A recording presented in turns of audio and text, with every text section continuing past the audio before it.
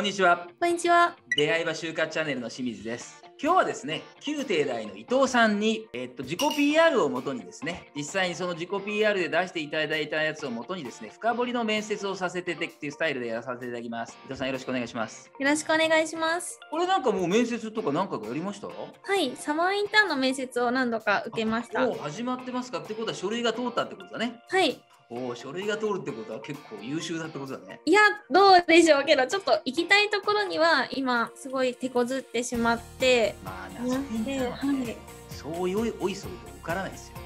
そうですか。合格率は2割ぐらい。あ僕らもあの旧帝大とか早稲田慶応の人とかもどうでした？まあ20%ですね。だって全部押したと見たもん。ーあ、そうなんですやってるとこね。によってはね。はい。ちなみに職員会社だったら相当厳しいですよ。あ、そうなんですね。ちょっと覚悟していきます。あーまあそんなんで別に夏をしたからって、まあでももともと採用数が少ないからね。じゃあですね、ちょっと共有しますね。そしたらですね、今日はですね、えっと、これをもとに面接をしていくっていうスタイルを取るんだけど、ただ、えっと、見てる人にもあなたにとっても、なんでこのことを確認していくのかっていうのが、まあちょっと分かった方がいいんで、一旦そこの形の中でやらさせていただくんでいいですかね。はい。じゃあスタートをさせていただきますね。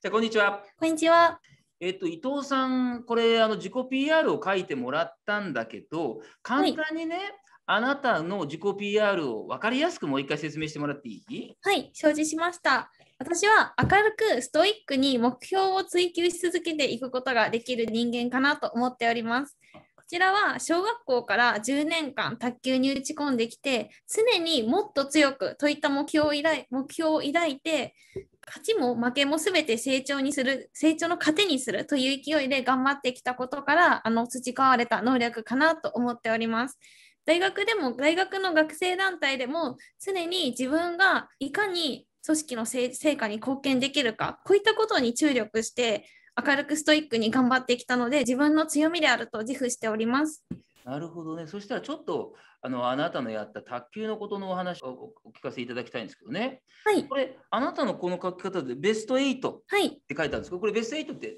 いわゆるシングル、ダブルス、団体戦なんじゃないですか？これは何でベスト8だったの？はいこちらはシングルでのあの結果になりましてうん。時期としましては中学校の頃の結果となっております。あ、中学の時にシングルでベスト8に入ったの？はいその時が最高の結果だったので記載させていただきました。これは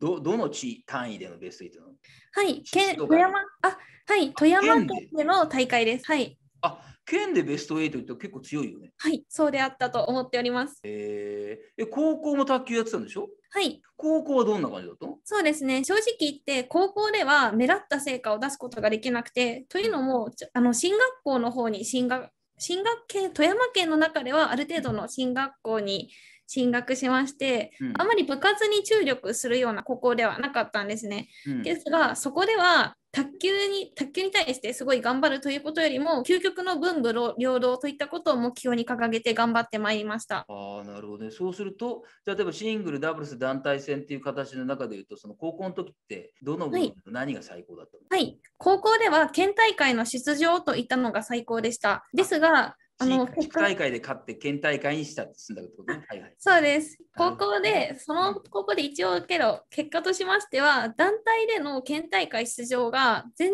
あの、過去10年間ぐらいなかったのですが、うん。10年間で初めて県大会に出場することができたという成果がも成果を持っております。これ、高校の団体戦ってあれだよね。シングル、シングル、ダブル、シングル、シングルだよね。そうです。はい。そうすると、あなたはシングルもダブルも両方出たってこと？はい、そうです。じゃあメンバー構成って何人で組んでたの？はい。メンバーが少なくて4人で組んでおりました。ああ、そうすると、はい。シングル、シングルって組んで、ダブルもあなたたちがやって、それ、はいもう残りの2本のシングルは別の人にやらせてたってこと？はい、おっしゃる通りです。ああ、じゃああなた何何本目打ってたの？はい、私はちょっと割と詳しく聞かれてびっくりしてるんですけど、私はあのシングルで、まあ、前半戦に出て、もう一回ダブルスで出てといった形でした。ああ、じゃあ1番手か2番手のシングル打った後のダブルって？はい、それが多かったです。じゃああなたたちのチームって、その進学校だったら、じゃあもう一人、もう一人強くがいたの？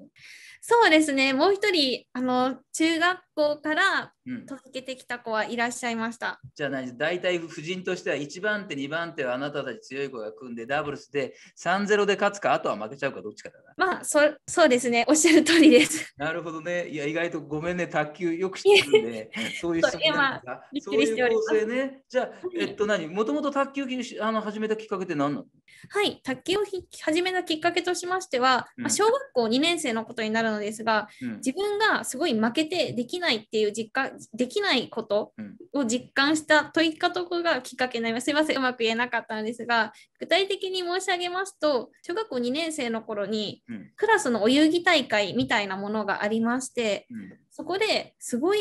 自分、私すごい負けちゃったんですよね。私、名前、伊藤お遊戯大会みたいな、反反対抗のうんお遊戯大会みたいな開かれて、卓球の。うん。私、伊藤って言うんですけど、うん。伊藤ちゃんもう出なくていいよって、班のみんなに言われるぐらいに負けに負けてしまって、うん。それに思った時に、あ、自分もっとできるようになりたいだとか、こんなできない自分すごい嫌だなっていう思いから、うん。卓球を強くなりたいっていう思いが湧き上がってきて、親によ親に頼み込んで養成クラブに入れてもらったというきっかけになっております。えー、あ卓球のあれをやって負けちゃったから養成に入ったんだ。はい、そうです。それは小学校何年の時？小学校2年生の時になります。うーんでどのくらい続けたのそれ？はい、小学校2年生から高校の3年生まで10年間続けてまいりました。じゃあ小学校にいる間その養成なんとかにずっといたの？はい、そうなります。ああその頃から養成やってるとじゃあ小学校の時で言うと小学校って大会があったんですか？はい、まあ数は少なかったですが、でそれはその時はどんな感じだったの？はい、その時は小学校5年生ぐらいまではほとんど勝てませんでした。うーんこれはどうして？はい。すまあ、やはりまだ始めたばかりというのもありましたので、まだあのうまくできなかったというのと、試合の経験がなかったというのが理由だと思います。ですが、その中でももっと強くなりたいという思いを持って、練習には力練習には熱意を持って取り組んでいました。うーんそれでいつぐらいから強くなり始めた？の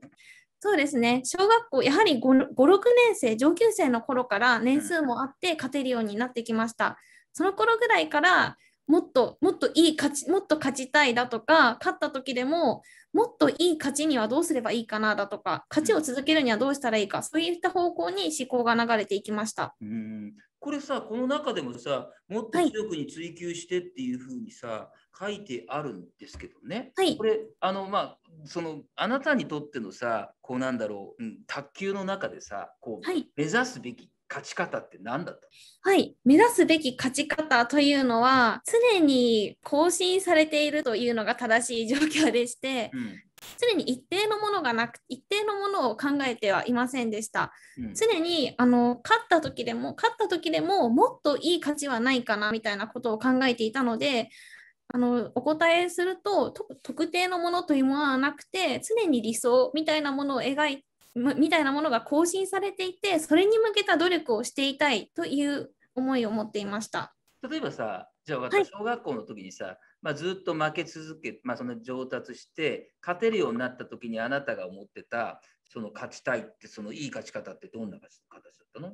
そうですね。正直言って圧倒するまでに勝ちたいと思っていました。それはどんなどんな感じなの？はい、えっと、どんな感じと言いますと、自分があの満足できる勝ち方みたいな、自分はけど、そうやって勝ちを追求しし続けていたのでそ、そういった時に自分ってその勝ちに対して満足できる時はないだろうなみたいな実感を持ちながら戦っていましたので、もしかすると、そういったあの本当に一定のものを抱けていないのかなと思っていました。じゃあ例えば中学とか高校とかではいあなたがその更新されるってことはそのあなたにとっての勝ち方ってどういうふうに変わっていったかってちょっと教えてくれる？はい。えっと、最初は、あの、ただか、ただ勝って、もうよ、より圧倒的に勝ちたいみたいな思ってたんですけど、高校の時とかの理想の価値は、あの、団体のみんなに対してもいい影響を与えられるような勝ち方みたいなのを描いていました。それを具体的にもうちょっと具体的にどういう感じ？はい。えっと、団体に対して、あの、とにかくいい、最初はあの自分がいかに勝つかみたいなことに焦点が向いていたのですが、高校になってからキャプテン、キャプテンなどを経験していく中で、自分の価値だとか自分の存在で団体に対していい影響を与えたいという欲があの湧いてきました。そのために、なんというか、チームのみんなをよりげより勝ちに引っ張っていけるような勝ちを想像していました。それは具体的に言うと、そのチームにいい影響いい影響いい影響を与える勝ち方ってどんな勝ち方なの？はい、えっと、完璧な勝ちというのを目指していましたね。なんというか、自分が、うーん、すごい難しいなと思うんですけど、自分が、なんというか、うん、完璧な勝ちと言いますと、ちょっと止まってしまいましたね。ちょっと考えてもいいですか、いいやはりチームに対していい影響を与える勝ち方というか、チームのみんなが私の勝ちによって元気をもらえるような、そういう勝ち方を思っていたのかなと思います。うん、なんかそう思うようになったのはなぜ？はい、えっと、チームに対していい影響を与えたいなと思ったきっかけとしては、チームに対、あの、チームとよより共同することで、え、ちょっとどうしよう、止まっちゃダメですよね。えー、いい大丈夫だよ。チーム行って。はいはい。えっと、チームに、あ、うんはい、ちょっと一回言い直してもいいですか？すいません、本当に。えっと、きっかけとしましてはチ、チームに対してよりいい影響を与えたいなって思ったきっかけとしては、私がチームにとっていい影響をすることで、チームのみんなとたくさんより達成感であったり、勝ちの喜び、そういったものを達成よ共有できるなと思ったことがきっかけになります。うん、なんかそれ出来事があったんですか？そうですね、出来事があったというわけではないのですが、あ出来事があったというよりも、うんなんでしょう、団体戦を繰り返していくうちに、一人での喜びよりも、チームで勝った時の喜びの方が大きいなっていう実感を積み重ねていったといったことが理由になっています。えーなんか実際にそういうことの経験がありますか？そうですね、実際にと言いますと、本当に団体戦での勝利の喜びが大きかったということになっております。何か具体的になんかどっかの、どっかの大例えば中学なのか高校なのかわかんないけど団体戦でなんかそういう形、勝ち方してよかったみたいなことがあるんですか？はい、あります。えっと、格上の相手に勝った時の喜びがすごい大きかったというのがあります。一人で勝った時よりも、周りでみんなで勝った時は、私の勝ちを周りのみんなも喜んでくれて、そのことがすごい嬉しくて、そういうそういったことがきっかけとなっているのかなって思っています。なるほどね。でちょっとですね、教えてほしいんですけど、あなたがね、そのこう自分がそうやって、まあ、勝っていこうと思ったじゃないですか。はい、どどうやって具体的に、例えばなろうとしたの？はい、とにかくあのこれはあれですかね、もっと勝ちたいといった自分に向かってということでしょうか。そうなんというか例えば圧私倒的に圧倒的な勝ち方をしようと思った時にあなたがしたってとか、例えば高校の時に大胆団体戦にみんなに影響を与えるような勝ち方って言ったじゃないですか。じゃあこの2つの例で具体的にそれをなるためにどうどうしたの、はい、とにかく練習をしたというのが答えになります。うんに練習週に5回ぐらいあったんですけど私は週に5回プラス自主練習も含めて週に6回は練習するようにしていました。うん。それもその練習に対しても毎日しっかりと打ち込みましたしそれ朝朝の練習自己自自分でサービス練習をする機会があったのですが毎毎日朝に朝の練習に自主的に参加してうんあの自分で強さを磨いていたという形になっています。これ例えばこう僕わからないんですけど圧倒的な勝ち方をしようという、まあ、目標があるじゃないですか。はい、その圧倒的ってその例えば具体的に言うとこうなんですかその卓球ってにこうあなたたち中学でもに21が21点ですかねで3セット取ればいいの？あ ?2 セット？はい中学だと、えっと、2, 2セット取ればいいんですか？はい、そうするとさ圧倒的な勝ち方ってそどういうあれに例えば21対3ぐらいで勝つとか21対5ぐらいで勝つとかあ11か。11ポイントか。はい。11対3で取るとかそんな感じなの？そうですね。あの、なんすごい具体的な数字で言うのはもうしあのなかなか難しいのですが、自分が力を出し切って勝ちたいみたいなのもありまして、うん。例えば、あの11対3で自分があのんすごい弱弱気で戦って勝った時よりも、11対8ぐらいでうん。強気で出し強気で自分の力を出し切って勝った方が私は価値のあるものだと思っていました。うん、えじゃあ力を出し切って勝つためにあなたがその、はい。こう練習でこだわったことってどんなことなの？はい、そうですね。先ほど申し上げてしまったのですが、とにかく練習をするといったところと、うんあと、とにかくそうですね、練習に打ち込んだっていうのが答えになっていますね。そしたらねあなたが高校の時に団体戦で影響を与えるような勝ち方をこだわったって言ったじゃないですか。この団体戦で影響を与えるような勝ち方って、ぐ具体的にはどどういう勝ち、どういう場面でどんな勝ち方が団体戦に影響を与えるってこと？そうですね、ちょっとあのなかなか難しいことになってしまったのですが、団体戦で影響を与える勝ち方は、とにかくまあ自分はあの一番その高校で強い強い立場だったので、とにかくまずは勝つことを注力して、その上であのみんなが安心できるような勝ち方をしたいなって常に思っていたので、あの具体的にどんな勝ち方と言いますと、うんとにかくす常に勝つことが答えなのかなって思っていました。常に勝つこと、常に勝つってことがあ重要だと。はい、常に勝つと、だから他の団体のメンバーが感動するようなことって起こるってこそうですね。この私なら伊藤なら大丈夫だって思ってもらえればいいのかなって思っていました。うーん、なるほどね。え、実際にその、あなたがそうなるためにあなたはどんな努力したの？はい、そうですね。常に練習をするといったことであったりだとか、常に自分が一番卓球に対して熱意を持って取り組んでいることで、いることで、あの周りのみんなを自分の姿勢で引っ張りたいなっていう意識を持っていました。うーん、なるほどね。じゃあちょっと元に戻ってもう一回教えてほしいんですけど、あなたがね、自分の強みは明るさとストイックを持ってベストを尽くすことだって言ってるんですけど、はい。例えばこの今のあなたが卓球のとこの場面の中でさ、そのストイックっていうのはまあ練習を一生懸命したっていうところに現れると思うんだけど、この明るくっていうのはどどどういうことにこだわって明るくっていうにこだわったの？はい、こだわってというか、私がとにかく明るいっていうのがありまして、あのすごいストイックなところを目指しながらでも、ちょっと隙があったら一ネタ挟みたいなっていうも思いを持っていたり、あとみんなに対して明るく接して、自分だけの世界に閉じ込まらないみたいなところがところを持っていましたので、書かせていただいた次第です。うん、そうすると、例えばこの実際の卓球のエピソードの中を通して、あなたが強みとして伝えたい内容っていうのはどういうことなの？そうですね、えっとあ、とにかくあの自分の目標を常に更新し続けて、ストイックに向かっていけるところと、その過程に充実感を持って明るく臨んでいけるところになります。なるほどね。じゃあここで切ってみようか。はい、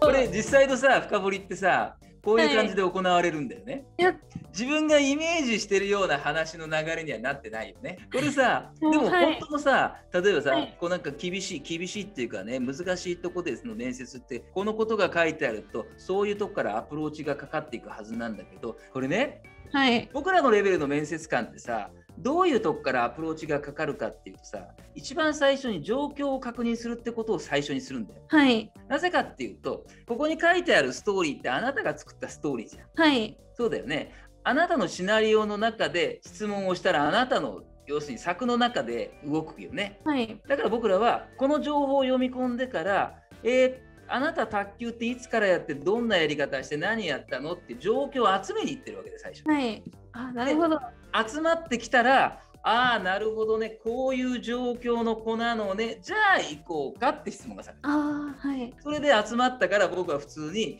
えーっとここで言うとね僕らがこう見て思ったのは要するに強くもっと強くを追求したっていうからだからもっと強くってなんでもっと強くにこだわるのっていうこととあなたの考えてるもっと強くって何なのってこう言ってを聞いてるね。はい、そこがもう、はい。だから多分ね伊藤さんはねはい。もっと強くって言ったらもっと強くですよねって思ってんだけど、いや僕らさもっと強くってどういうことっていうふうに聞く。これってね結構こういう質問されるんだよ。うん。僕らは抽象的な言葉に騙されないっていう傾向を持ってる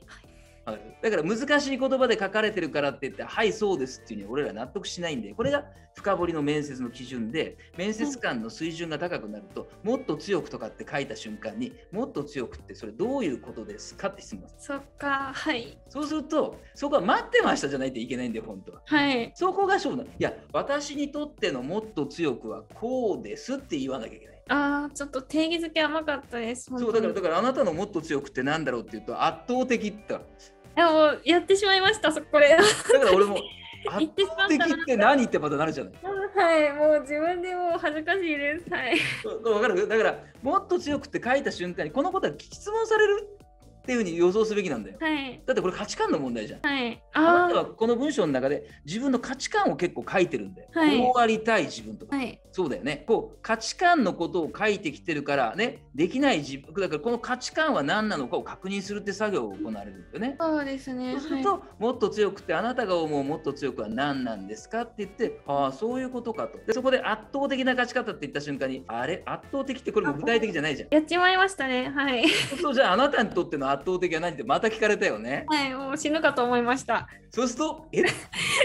でまたなんかで俺だったら圧倒的ってね清水さんね卓球って 11, って11対11点制で3試合あるんでね僕私にとっての圧倒的はねもう相手にですねもう点を上げないとか1点2点ぐらいのやつを圧倒的と思ってますとかそういうのは、あそういうものなので済むんだよ。はい。おーあそういうかでそれはあなたが圧倒的っていやそうじゃないんだ単なる11対1じゃないんだというまた言って、力を出し切ったじゃあじゃあ力を出し切ったって具体的にどういうこと？みたいな 自分でこう種をまきた分だけそれってど,、うどういうことなのっていうふうにこだわって聞かれちゃうよね。まあ聞いて、まあいいやと。まあそこってあんまり聞きすぎてもしょうがないからじゃあ分かったと。じゃああなたがそのさ圧倒的強くなるために何したのって質問が飛ぶよね普通。はい。もう、はい。来ました。そうすると練習しましたじゃダメなんだいやもうそれ練習するよね恥ずかしいっす。はい。まあそうだよね。それは練習するけど、あなたの美学がもっと強くにあるんなら、その美学を達成するためのあなたの圧倒的な強さ、いいんだよ。そのあれたものになるためには、普通の人はこういう練習のとこ、私はこういうこだわりをした。あ、はいそういうことかな。これってでも見せ場なんだよ、あなたの。いや、もう、おっしゃる通りです。そうだよね。この見せ場を、ああ、なるほど、なるほど。普通の人と違う練習の仕方をしたんだね。それで納得するし。で、そうするとあなたの、これね、団体戦、要するに高校の時は、じゃあどういうようなあなたの勝ち方って言った時に、これも結構だから苦しい答えをしたと思うんだけど、みんなに喜んでもらう勝ち方。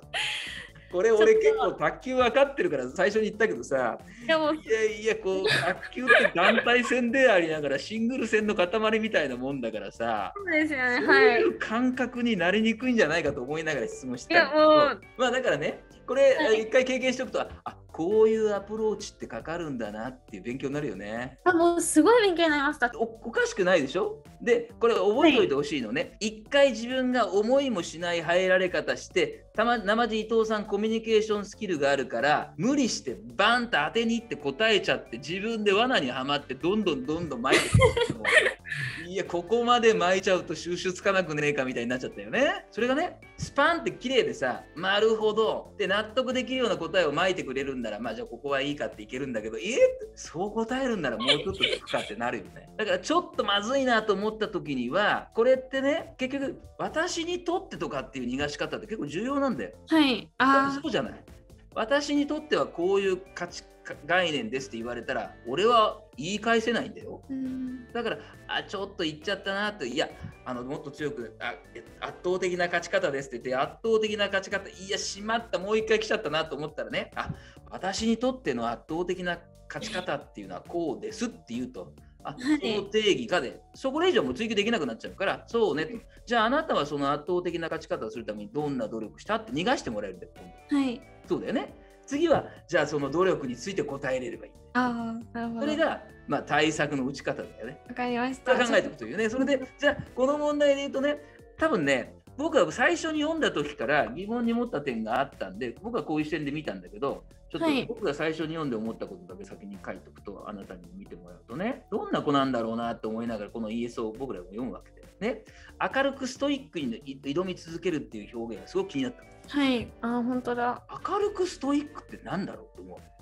う。うんで。これ多分あなたの強みって、例えば今のエピソードで明るくって入れる必要あんま感じないんだけどね。はい。ななんで明るく入れなきゃいけないんだろうなと。あなたの性格が明るいか暗いかっていうのはさ、話は分かんだからいらねえよ。あ、確かに。そうだよね。このエピソードであなたが、私はこんな人だって語るために必要なものが自分の強みだとすると、明るくって多分いらない日本語が入ってんだよ。ああ、おっしゃる通りですね。そうすると、ストイックに挑み続けられるっていう風な方がまだいいんだけど、でもストイックに挑み続けられるだけど、ちょっと僕はやっぱ弱いと思ってて、これ、はい多分あなたが伝えたい自分の強みは何だろうね。僕あの話が一番ね、僕としては良かった話だと思うんですけど、小学校の時に私は卓球をさせられて、あんまり下手すぎてね、あんたはもうやんなくていいわよって言われた。もうとてもいい話だと思う。ここを捕まえれたことで僕は、あ伊藤さんってどんな子か分かって、すごく今回の面接で一番あなたのことは分かった とても重要なインフォメーション。あこの子とってもいいなと思った一瞬はあそこなんだよ。はい、この子は小学校の時にね、あ卓球実はねあのみたいなことをやらさせてあんた下手すぎたからあんたもうやんなくていいわって言われて悔しいから親に頼んでね卓球のスクールに入れてもらってやったと。へえすごくいい話が出たでどうしたって聞いたら俺がいやしばらく勝てなかった。おーっと。あこの子って実はね、そういう下手下手だったかもしれないけど努力して強くなって勝てるようになってえ中学はベスト8まで行ったんだ。俺ならここで話を作る。それが一つのストーリーライン私はもともと卓球ねこういうきっかけで始まったんですともともと下手っぴーと言われてで私運動って俺だったらわざとあえて私運動って結構苦手な方だったからね。なかなか最初上達しなくてでやっと勝てるようになるまで小学校5年ぐらいまでになってねそこでやっと始まって強くなってでも私ってもっともっと強くなりたいっていうそのストイックでこだわりがあったからそこでどんどんどんどんにしたらさらに強くなって強くなってまた面白くなって中学の時はなんと県のベスト8まで行ったんですこうこれいい話じゃん。そうするとあなたの良さがすごく伝わる話だよね。でもだから ES に小学校の時から中学校の話でいいのかって話は別としてこの話は絶対重要な話なんですおこ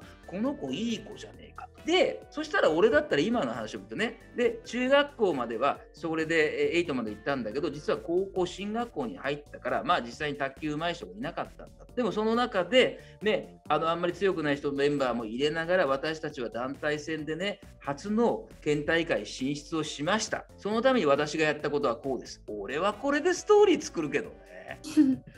その方がよくね。確かにおっしゃる通りです。あと大学とのかぶりをなくしたいなっていう理由でなんとなく自己 PR を。だから俺は話のストーリーとしてはね、例えばこのあなたの話は高校の時に、ね、進学校で今まで入ってな入れなかった県出場できなかった県大会に私は首相として出場しましたって話にするけど。でそこのとこで小学校のさっきの話を絶対に面接官に質問されてるような餌をまいてるけどね。そうするとなるほど小学校の時のその出来事があってそれで卓球で8位まで行ってよしもっとやろうと思ったんだけど勉強やりたいと思ってね進学校に入ったら弱くて弱いんだよね。あ弱かったね。でね相手が弱いともうどうしようもないんだよね。でしょう。ちょっとそうですね。まあだってまあそういうスポーツだよね。だからあなたともう一人の人で勝っていくしかないんでしょ。一回も負けちゃいけないゲームをやるんだよね。はい。なんかそういうさ話とかをさなんかうまく持っていくとかね。だからそうするとねこれなんかあなたがこの話の中でこう自分の強みの見せるとこをやっぱきちっと絞ってそういう風な形のストーリーでどれを持っていこうかってしたら、とてもいい話になると思うんだよね。あわかります。俺書き直すべきだと思うね。はいあの痛み入ります本当に。とんでもない。ありがとうございます。そしたらですね、はい、今日はですね、宮廷大の伊藤さんに挑戦いただいてですね、あ、はい、深掘りってこういうことが起こる。そして実際に自分が予定しないことが聞かれた時にですね、自分でしまったと思ってですねこう考えずに言うとまたそこをもとにえってまた深掘られちゃうっていうことを見てこれ実はですねよく起きるの難しい企業のとこ受けてねベテランの面接官が出てきたらこういう目に遭いますからぜひ皆さんがそれを防ぐためにも抽象的な言葉を書くっていうのはやっぱり注意しなきゃいけない。で具体的なことの事実で書いていく自分のシナリオをきちっとしていくってことが結構重要だってことだよね。それとともにもし抽象的な言葉をまくんだったらこれは相手にねよしここ来たら私はね待ち構えて待ってますよって餌なんだからその時にはどうするかみたいなことを考えていくといいよね。まあ、ぜひ、そんなことを今日のやつでですね、学んでいただければと思います。頑張って。はい。はい。じゃあ今日はですね、宮廷大宮廷大の伊藤さんに挑戦いただきました。ありがとうございました。ありがとうございました。見ていただいていいねって思ったら、ぜひ高評価、そしてコメント、そしてチャンネル登録もよろしくお願いします。